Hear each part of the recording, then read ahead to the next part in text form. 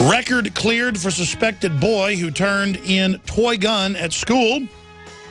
NATO exploits phantom Russian troop buildup to call for militarizing Eastern Europe.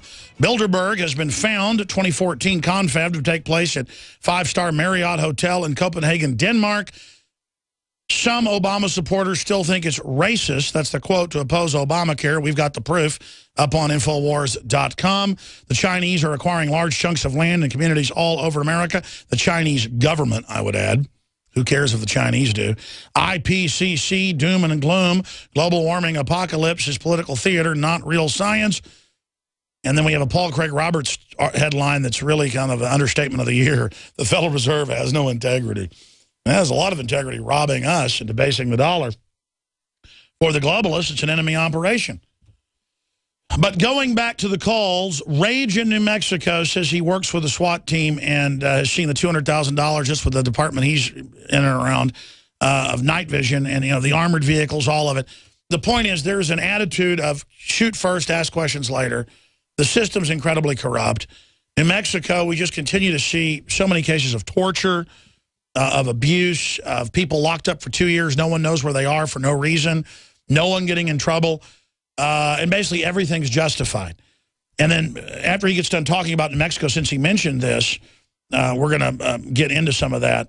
And also nearby in, in, in, in Arizona, where the cop runs up and just attacks a woman for no reason is walking down the street. That reminded me of the uh, you know video of the guy on the bicycle. The cop walks up and knocks off and almost kills uh, just for no reason. There's an attack dog mentality uh, and you know, those type of people who just want to randomly attack people. It's like it's like folks that have pit bulls. Not all pit bulls are like this, but some people have pit bulls. And, and they attack people. I, I have a friend who got some pit bulls and was rescuing them. And I said, listen, you better watch out, man. One day those things will just bite you. And one day, uh, the two pit bulls got in a fight, and he tried to separate them, bit his foot almost off, his hand, just wrecked him, and then did it again a month later. First, he was going to keep him, and then he was like, oh, I think I'm going to get rid of him now. And it's the fact that you don't want a mindless pit bull, folks. That's not what you want in police. And you certainly don't want them working for the globalists. But side issue, let's talk to Rage in New Mexico. Go ahead and tell your story about the big hoax you want to discuss. You were saying, you're saying the state of New Mexico's government is becoming a hoax. Go ahead and elaborate. Sure, the entire state's a hoax. I'm really glad that you've been getting a lot more press uh, focused on New Mexico. You mentioned the other day that New Mexico Magazine has a background and the very back cover uh, story. Every month, one of these is missing. One of these 50 is missing. People don't even know we're a state, and that's by design. But because of what's been going on and the coverage you've been giving it, more than just about any other media outlet that I can find anywhere. I implore you to send someone out here so I can really debrief you. You said once that people who really know things don't call in. They meet you at golf outings or private, you know, events that you're doing. I don't have the ability to travel. I have a broken neck and back right now. And I don't really care about my life at this point, Alex. I don't have a life. We don't have lives if what I'm about to tell you isn't the truth. We have politicians and lobbyists who are not just lobbyists, but are paid cover up artists. Let me repeat that paid cover up artists. If you'll please have one of your guys type agenda global.com. Agenda global.com. They're a merger of a K Street, uh, Washington lobby firm with a crisis management PR firm. Go to the bio section of a man named Doug Turner. Look at his bio. You'll see he is a term member of the CFR. You will see that in 2010 he provided strategic communications. You can read that as cover up for the Japanese Prime Minister for Fukushima. But he was also the man responsible for getting the independent governor, Gary Johnson of New Mexico, in the governor's mansion. Everything is enmeshed. Nothing is what it seems. This is the CIA's playground. It is drug central. People have a ton of money, and none of them are ever busted. None of them are ever touched. The cops are even good men when they're in a group of 20 or 30, like I've seen, will shoot or will do exactly what they're told because they're trained to follow orders. Independently, they're amazing men incredible men of integrity who I would want on my side any day. You put them in a group of 20, and you, you take the Judas goat and you turn it into one of those pit bulls you were just talking about, And Alex, you have a herd mentality and an LT who says engage. If someone jumps out and he's unarmed and says bang, bang, are you going to stop the fight? Excuse my language. Heck no.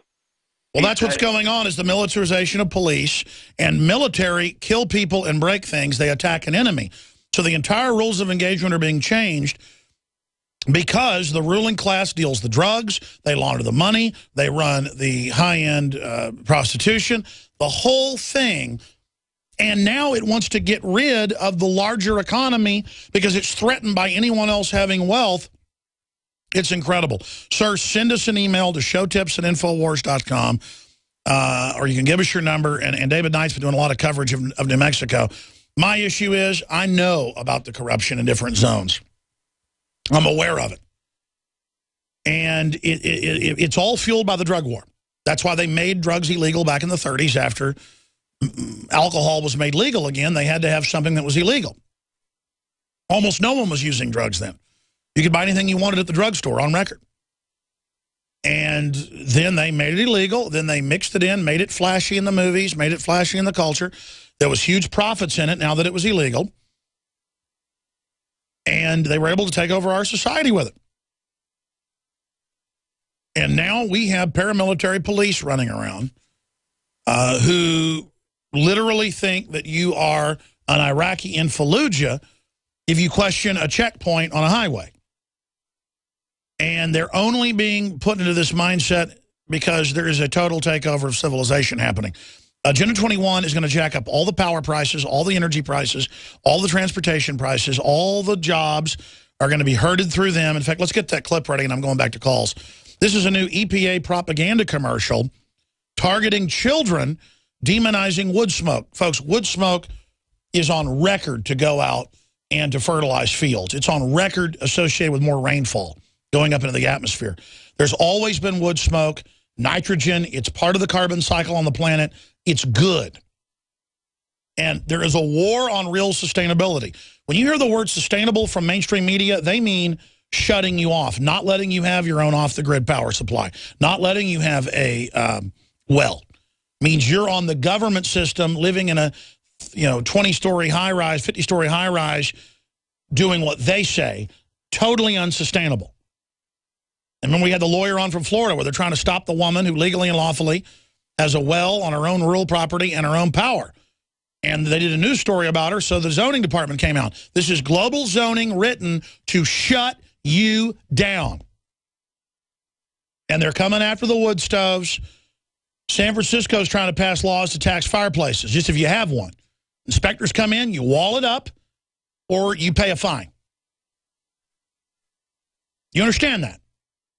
This isn't a game. And I tell people this on air, and they go, man, you're making that up. Folks, they've already banned new fireplaces in homes six, seven years ago in Germany. My parents live in a house built in the 30s back when it was cold. We go through cycles. It's getting cold again. Every room, I've seen some old houses where the bathrooms have little fireplaces because that's how you heated your house. And the point is, it's already going extinct like cash, but they want to get rid of it. They want us as prisoners. Here is this EPA propaganda commercial targeting children. Smoke from wood stoves and fireplaces can make you sick. Wood smoke can give you a stuffy nose, make your eyes water, and even make you cough. It can also cause an asthma attack. My grandma replaced her wood stove because I have asthma. I'm happy that I can breathe better. To help protect your health and the health of loved ones, find ways to reduce wood smoke. Go to epa.gov slash burnwise. All right, just like uh, we've seen a 3,000% increase in type 2 diabetes, that's in the general public, and Hispanics is even higher. The numbers are by 2025, half the U.S. will have type 2 diabetes, and something like 70 plus percent, you, you can look it up, the numbers vary, of uh, Hispanics will have it. There's no discussion of why is everybody getting this. What's the different additives? One thing linked to destroying your pancreas and making you obese and giving you cancer. Was, I saw CBS News today reporting on it. Uh, is aspartame. It's in almost every major processed food now, not just gum. Sugar gum has it. It's highly addictive. Wood alcohol, it's 88 degrees. Your body's 98 plus. Breaks down to wood alcohol. That's what makes you go blind. There's no discussion for these kids about why is asthma up multi-thousand percentage points. The GMO, the allergies. There's no discussion of why you had much less allergies back in the years when everybody had wood-burning stoves. No. And, of course, now wood-burning stoves will trigger allergies with people because you're already so overwhelmed. You're already so screwed up. There's a phenomenon now where people I know that own a few acres in Austin here and there, where it's been built up now, formerly the of town, their neighbors call the police on them, even when there's no burn ban, when they have a campfire in their backyard. That's the nanny state, folks. That's the nanny state in America. In fact, I'll go ahead and say it. It's my parents. They live on four acres in the middle of Austin that they bought back in the early 90s. And they're building condos all around them, you name it. And it, it's like heaven over there. They got a you know, pool, whole nine yards. And the neighbors just call the police all the time, different ones. Oh, you're having a fire out by Christmas, people standing around, you know, out by the pool, got a fire pit, call the police. Your kids are